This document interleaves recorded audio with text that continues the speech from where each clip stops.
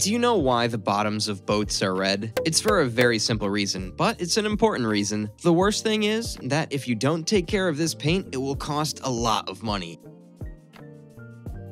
To answer this question, we need to do a little bit of history. In the old days, pirates used copper plates on the ship's hulls to preserve them. I'm saying pirates, but really, this practice dates back to the English Navy in the 1700s. We could even go as far back as the Romans, who used to put lead plates on the hulls of their ships. But this isn't a history lesson, so I'll stop here.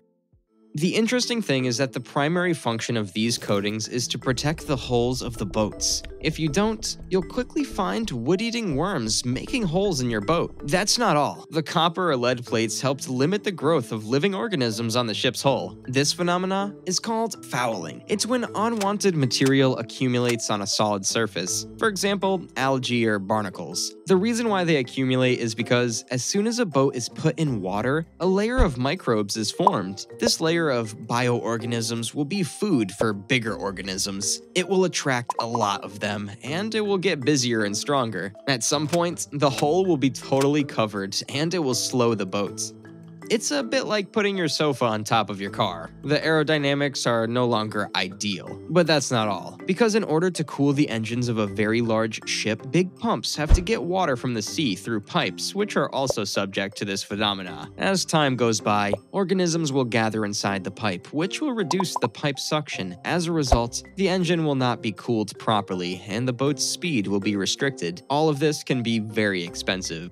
In fact, a 2011 study specifically examined the economic impact on US Navy ships especially on this type of ship, a destroyer. The maintenance and repair associated with the impact of marine organisms are estimated to be around $800,000 per ship per year. The Navy has 70 of them, so it's costing them $56 million each year. That's not a cheap car wash. But what about the color? The legend and the internet say that the red color was kept by custom, since in the days of our pirate friends, the copper plates oxidized in the water and became red. But it's more likely because this type of paint, called anti-fouling paints, first used copper oxide, which happens to be red. Today, this type of coating can be any color.